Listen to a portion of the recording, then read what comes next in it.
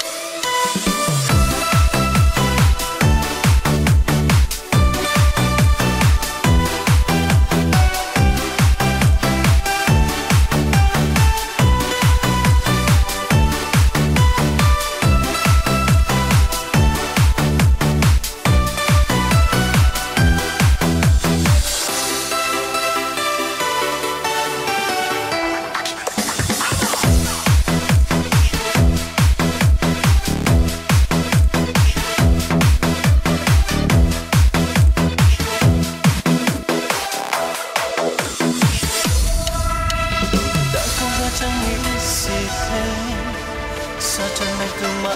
pity Then the